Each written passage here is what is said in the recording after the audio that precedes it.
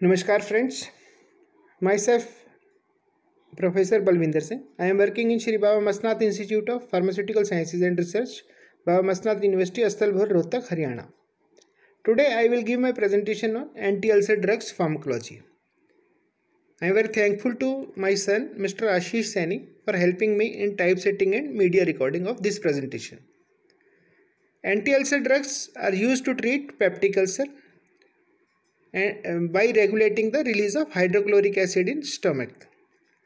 Peptic ulcer जो है untreated unhealed wound है.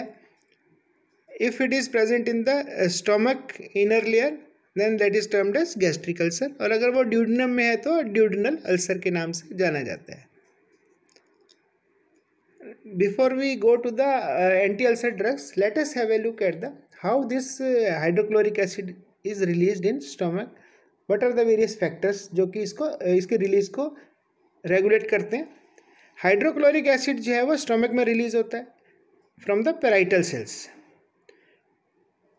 hydrochloric acid secretion जो है उसकी रिलीज़ को रेगुलेट करने के लिए तीन इंपॉर्टेंट फैक्टर्स हैं।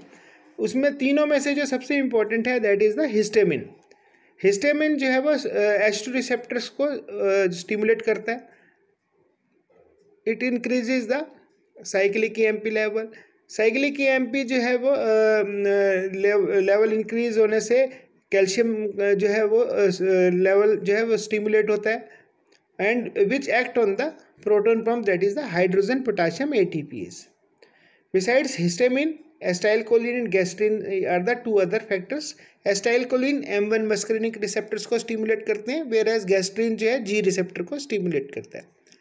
बोथ एस्टाइलकोलिन एंड गैस्ट्रिन जो है मिलकर जो है स्टिमुलेट करते हैं इनोसिटॉल ट्राइफॉस्फेट डाइएसाइल ग्लिसरॉल को in presence of an enzyme phospholipase C this will combinedly will stimulate the intracellular calcium and acid will be released so all these three histamine acetylcholine and gastrin will help to release the hydrochloric acid in exchange of potassium in the stomach now let us have a look at the anti-ulcer drugs classification.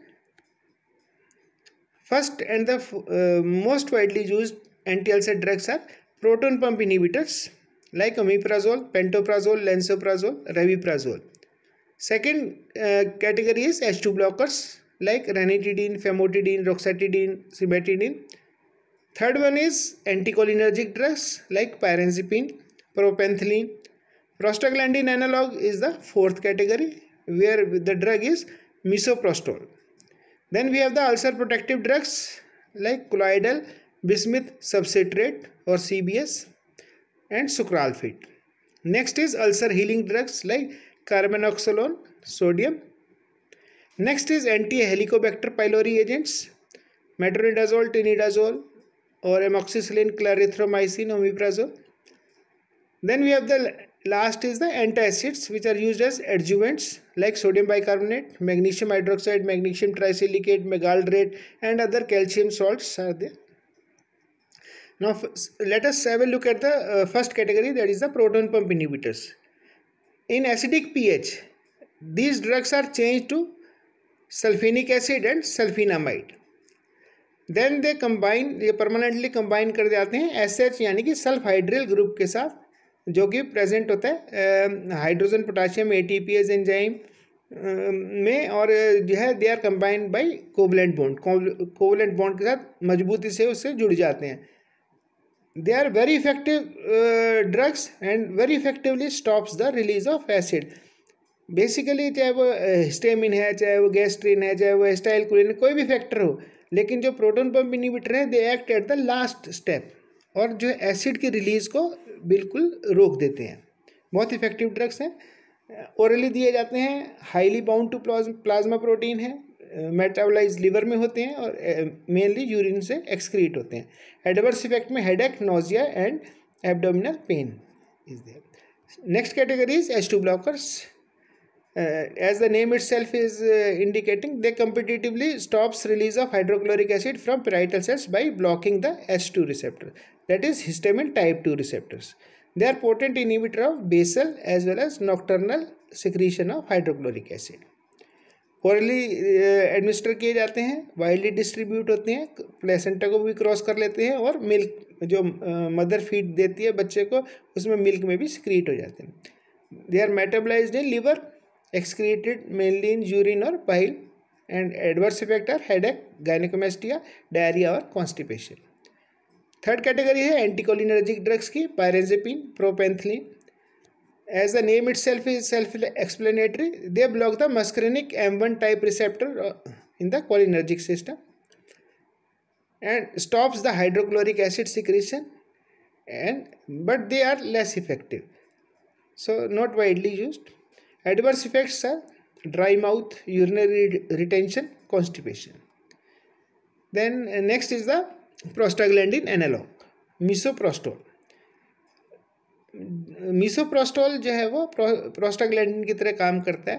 Prostaglandin जो है वो ulcer healing में ulcer का जो है protective function में help करता है। इस इस तरह से मीसोप्रोस्टोल जो है वो एसिड सिक्रेशन को स्टॉप करता है।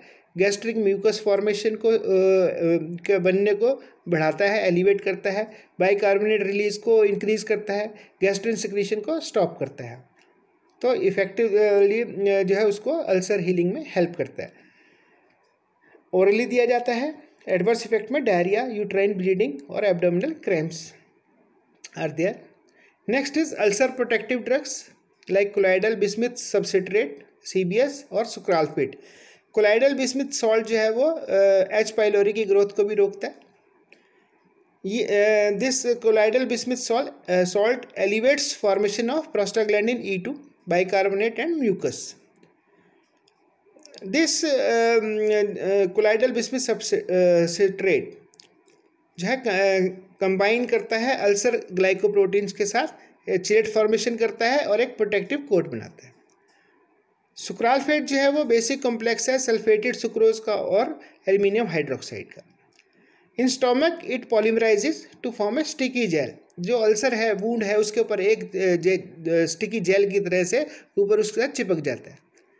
It protects it from acid. So natural healing will take place, will not disturb due to acid release. It increases prostaglandin synthesis to accelerate healing of peptic ulcer orally दिए जाते हैं urine और faeces में excrete होते हैं adverse effect में constipation dry mouth nausea and black stool next is ulcer healing drugs carbenoxolone sodium liquorice जो roots ग्लिसरेजिक acid है, वो इस ड्रग का सोर्स है, जो मुलेठी भी कहते हैं जिसको हम। उसकी जो है रूट से ग्लिसरेजिक एसिड निकलता है, जो कि जिससे ये कार्बन ऑक्सोलॉन सोडियम बनता है। It protects peptic ulcer by combining to ulcer base mucus की थिकनेस को बढ़ाता है पेप्सिन की एक्टिविटी को स्टॉप करता है प्रोस्टाग्लैंडिन के एक्शन को बढ़ाता है। It has a steroidal action तो उससे मिलते जुलते एडवर्स इफ़ेक्ट भी हैं like oedema water and sodium retention weight increase होता है। Next is anti helicobacter pylori agents of action uh, will discuss. But before, let us have a look at the pylori or h. pylori? Basically ये एक notorious gram negative bacilli है bacteria है। And इसकी वजह से जो है पेप्टिकल sir बार बार जो है, वो फिर से हो जाता है। इसकी ट्रीटमेंट के लिए जो है ट्रिपल थेरेपी दी जाती है। एक combination of antiprotozoal antibacterial and PPI like metronidazole या टीनीडाजोल में से एक ड्रग देते हैं, एमोक्सिसलिन या क्लैरिथ्रोमाइसिन में से एक ड्रग देते हैं और ओमिप्राजोल या लेंसोप्राजोल में से एक ड्रग देते हैं। मतलब ये तीन जो ड्रग्स हैं इनका कंबाइन करके ओरली दिया जाता है, एक हफ़्ता या दो हफ़्ते की जो है ट्रीटमेंट रहती है। इसमें एडवर्स इफेक्ट्स है जी आई डिस्टर्बेंसेज है और मेटलिक टेस्ट है। नेक्स्ट है जो है एंटासिड्स है। एंटासिड में जो है basically as the name is anti against the acid तो they are the alkaline substances basic substances होते हैं। ये जो है हाइड्रोक्लोरिक एसिड को न्यूट्रलाइज करते हैं।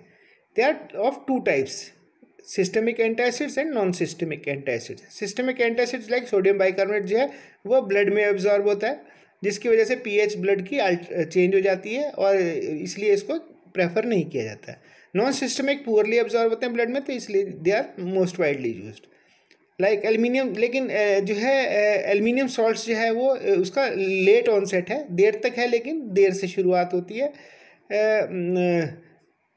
इससे कॉन्स्टिपेशन हो जाती है। मैग्नीशियम सॉल्ट्स होते हैं, वो जो है उनका फास्ट ऑनसेट ऑफ़ एक्शन है, लेकिन साइड इफ़ेक्ट में डायरिया आ जाता है। इसका सोल्यूशन ये निकाला गया कि जो combination of magnesium and aluminium salt that is the magaldrate जो है वो वाइडली यूज़ होता है। मेगाल्ड्रेट जो है वो हाइड्रेटेड कॉम्प्लेक्स है हाइड्रोक्सी मैग्नीशियम एल्यूमिनेट का antacids are use as adjuvant in the treatment of peptic ulcer because of shorter duration of action orally दिए जाते हैं। एडवर्स इफ़ेक्ट में कॉन्स्टिपेशन डायरिया सिस्टमिक कैलकुलोसिस और rebound hyper acidity these are the main adverse effects that's all about the uh, anti-ulcer drugs pharmacology. I am very thankful to you for listening patiently to uh, my presentation uh, my phone number and email id is given here. You can contact me for any further query. I, once again i am thankful to my son mr ashish sani for helping me in type typesetting and media recording of this presentation.